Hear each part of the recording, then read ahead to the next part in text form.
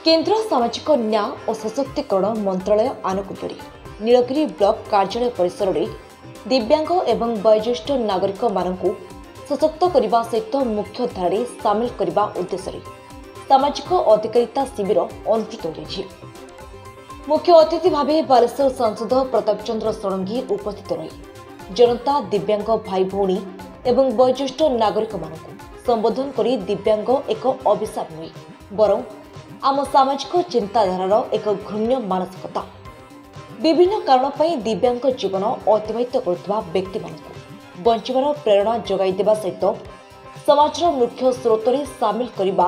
ଆମ ସମସ୍ତଙ୍କର କର୍ତ୍ତବ୍ୟ ହେବା ଉଚିତ ବୋଲି ମୁଖ୍ୟ ଅତିଥି ଶ୍ରୀଯୁକ୍ତ ଷଡ଼ଙ୍ଗୀ ଉଦ୍ବୋଧନ ଦେଇଥିଲେ। କେନ୍ଦ୍ର ସରକାରଙ୍କ ଦିବ୍ୟାଙ୍ଗ ଆଶାବାଡ଼ି ଯୋଜନା ଏବଂ ବୟସ୍କ ଲୋକଙ୍କ ପାଇଁ ବୟଶ୍ରୀ ଯୋଜନାରେ କେନ୍ଦ୍ର ସରକାରଙ୍କ ପୂର୍ଣ୍ଣ ଅନୁଦାନରେ ବିନା ମୂଲ୍ୟରେ ଦିବ୍ୟାଙ୍ଗ ଏବଂ ବୟସ୍କ ଲୋକଙ୍କୁ ସାମିଲ କରିବା କେନ୍ଦ୍ର ସରକାରଙ୍କ ମୁଖ୍ୟ ଲକ୍ଷ୍ୟ। ଉକ୍ତ ଶିବିର ଆଲିମ୍ କୋ କମ୍ପାନୀ ଏବଂ ଭାରତ ସରକାରଙ୍କ ମିଳିତ ସହଯୋଗରେ ଆୟୋଜିତ କରାଯାଇଥିଲା। ଉକ୍ତ ଶିବିରରେ ଆଲିମ୍ କୋ କମ୍ପାନୀର Bhubaneswar marketing manager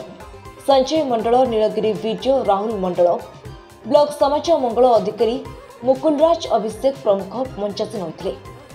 ଉକ୍ତ ଶିବିରରେ ଅଣଚାଶଟି ତିନିଚକିଆ ସାଇକେଲ ଶହେଟି ଶ୍ରବଣ ଯନ୍ତ୍ର ପଞ୍ଚାନବେଟି ହ୍ୱିଲ୍ ଚେୟାର ଶହେ ପଚାଶଟି ଆଶାବାଡ଼ି ପଞ୍ଚାଅଶୀଟି ଆଣ୍ଠୁ ବନ୍ଧନୀ ଆଠଟି ଅନ୍ଧବାଡ଼ି ସତେଇଶଟି ସାଇଡ୍ କିଟ୍ ତିନୋଟି ସିପ୍ ଚେୟାର ଆଦି ମୁକ୍ତ ଭାବେ ବଣ୍ଟନ କରାଯାଇଥିଲା। ଏହି କାର୍ଯ୍ୟକ୍ରମରେ ସାଂସଦଙ୍କ ବ୍ୟକ୍ତିଗତ ସହାୟକ ଚନ୍ଦ୍ରବିନ୍ଦୁ ଦାସ ବାଲେଶ୍ୱର ଜିଲ୍ଲା ବିଜେପି ସଭାପତି ଉମାକାନ୍ତ ମହାପାତ୍ର ପୂର୍ବତନ ରେମୁଣା ବିଧାୟକ ଗୋବିନ୍ଦ ଦାସ ପରଶୁରାମ ପରିଡ଼ା କମଳଲୋଚନ ଦାସ ପ୍ରଦୀପ କୁମାର ପଣ୍ଡା ରାକେଶ ମଲ୍ଲିକ ମନୀଷା ଚିନ୍ମୟୀ ବେହେରା ସ୍ୱପ୍ନା ମହାନ୍ତି ମମତା ମହାପାତ୍ର ସିପ୍ରାରେଖା ମହାପାତ୍ର ବିଭୁବୋଧ ଦାସ ଗଙ୍ଗାଧର ମିଶ୍ର କରୁଣାକର ପଣ୍ଡା ଈଶ୍ୱର ଚନ୍ଦ୍ର ବେହେରା ବିପିନୀ ମହାନ୍ତି ପ୍ରମୁଖ ଉପସ୍ଥିତ ରହିଥିଲେ